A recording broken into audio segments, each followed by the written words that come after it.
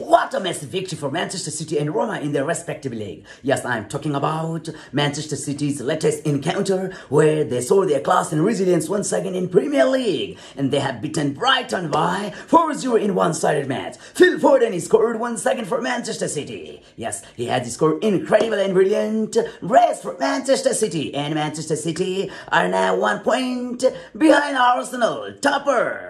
And Manchester City have played a game less than Arsenal. Oh, simply unbelievable and exceptional performance by Manchester City.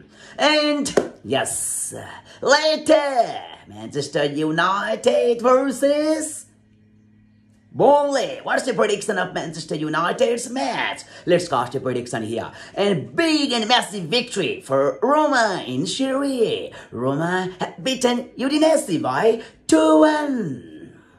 Okay, this is all from latest football news update from EM7. Till then, I want to say goodbye. Save the nature. Save the world. Respect, respect.